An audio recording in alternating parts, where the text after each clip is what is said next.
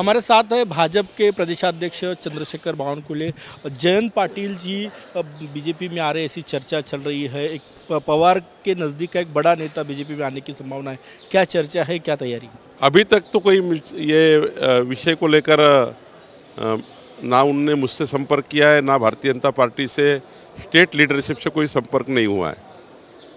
और जहाँ तक उनके जो जो न्यूज़ चल रही है उसके ऊपर से मुझे लगता है कि किसी को इस प्रकार से कंट्रोवर्सी में लाना भी ठीक नहीं है। अगर किसी को पार्टी में आना है तो हमारी विचारधारा है मोदी जी का साथ देने के लिए विकसित भारत का और आत्मनिर्भर भारत का संकल्प मोदी जी ने किया है। वो संकल्प के लिए, साथ देने के लिए कोई आना चाहता है तो हम उसका स्वागत करेंगे। लेकिन अभी तक तो कोई ऐसी बात नहीं है। जयंत पाटिल आना चाहे तो स्वागत करेंगे। भारतीय जनता पार्टी में जो जो आना चाहता है सबका स्वागत भारतीय जनता पार्टी करेगी।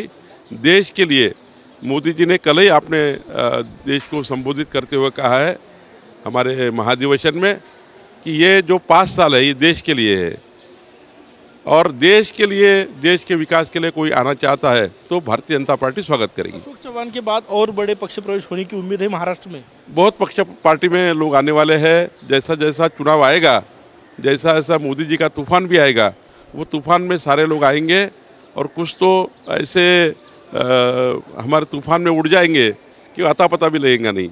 ऐसी पार्टियाँ उड़ जाएगी सारी। लेकिन लेकिन जो आना चाहते हैं उसका हम स्वागत करेंगे। कांग्रेस के विधायक भी आने के लिए कतार में है? जो जो आना चाहते हैं भारतीय जनता पार्टी उसका स्वागत करेगी। हमारी विचारधारा और हमारा संकल्प ये दोनों के विषय के आधार पर किसी को आना है तो आ सकते हैं। कैमरामैन सचिन सयाम के साथ मैं गजानन उमाटे टीवी नाइन मराठी।